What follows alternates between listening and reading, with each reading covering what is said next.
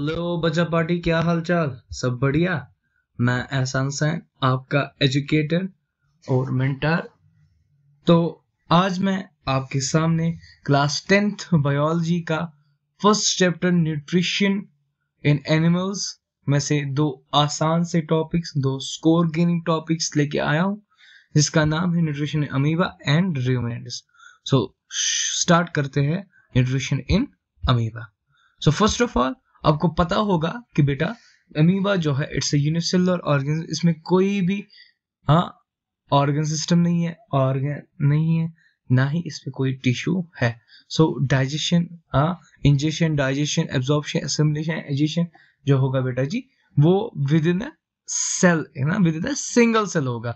तो आपको पता है कि अमीबा जो है इट्स इनके पास इरेगुलर इरेगुलर शेप होती है तो इनमें फॉस्फीट पाई जाती है, जिनका नाम हमने सीरोपोडिया ऑलरेडी क्लास सेवन से पढ़ के आए हैं।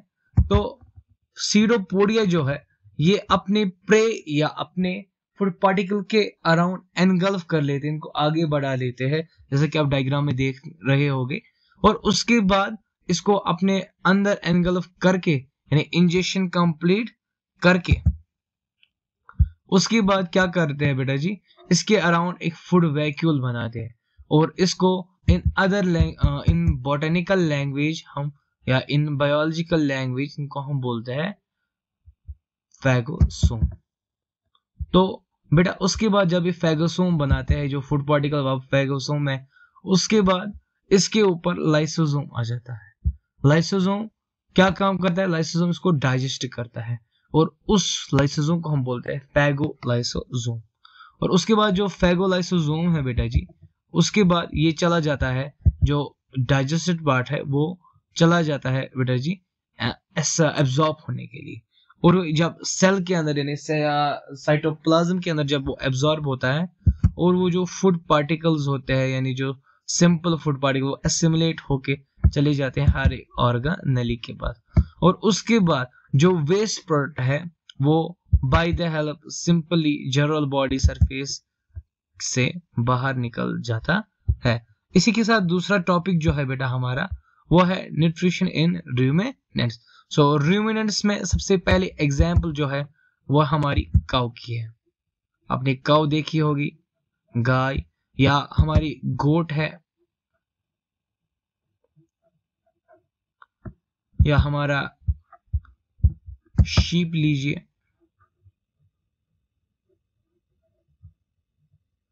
दीज आर रूमिनेंट्स और इनमें डाइजेशन कैसी होती है? इनमें हाँ एसिमुलेशन वगैरह कैसा होता है? तो हम देखेंगे इनकी डाइजेशन तो अगर हम देखेंगे बेटा जी काउ शीप गोट अगर हम देखेंगे बेटा जी, ये जो होते हैं काउ शीप गोट जो होते हैं, इनको हम रूमिनेंट्स बोलते हैं। रूमिनेंट इन देंस रूमिनेंट उनको बोलते हैं जो रूमिनेशन दिखाते हैं। और रिमिनेशन क्या होता है ये?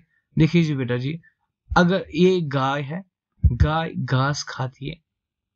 जब गाय घास खाती है ना तो ये घास जो है वो अंदर चली जाती है और सीधे चली जाती है गाय के पहले स्टोमक यानी गाय का तो एक ही स्टोमक है, लेकिन इसके चार चेम्बर्स है और जो बड़ा वाला चेम्बर इसको हम र्यूमिन बोलते हैं, पहले चला जाता है।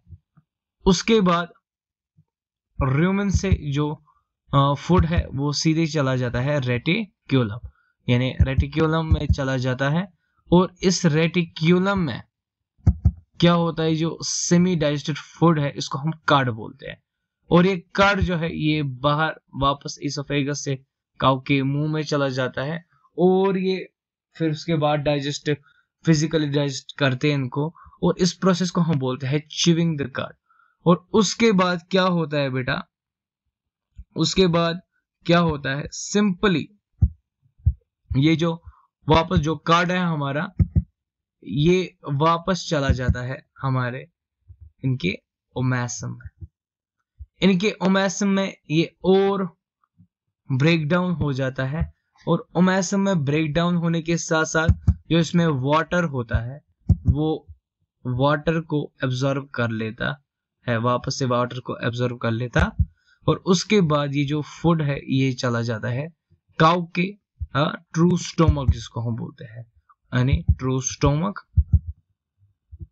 ये अक्सर सवाल पूछा जाता है एनटीएससी में या कोई ओलंपियाड है, उसमें पूछा जाता है which one of the following is the true stomach in the cow और वो क्या है बेटा जी? एब ओमेस एब ओमेसन में उसके बाद एब ओमेसन से जब ये डाइजेस्ट होके fully digest complete incomplete digestion के बाद फिर जब ये स्मॉल इंटेस्टाइन में चला जाता है, और उसके बाद स्मॉल इंटेस्टाइन में एक एक्सटेंशन होती है, जिसको ये एक सैक लाइक स्ट्रक्चर होता है, इसको हमने इसको हमने नाम दिया है बेटा जी सीकम सीकम जो है बेटा जी it's a small intestinal extension और इसमें क्या होता है बेटा जी, यहाँ पर आपके कव के इस सैक में बैक्टीरिया होती है, गुड बैक्टीरिया होती है, जो डाइजेशन ऑफ़ सेलुलोज में मदद करती है और उसके बाद जो है,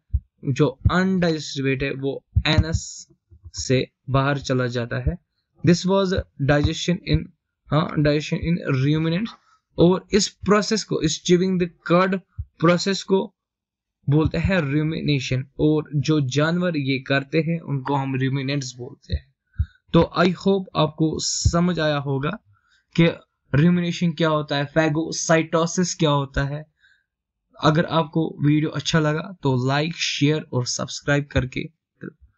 मिलते हैं अगले वीडियो में। देन अल्लाह हाफिज़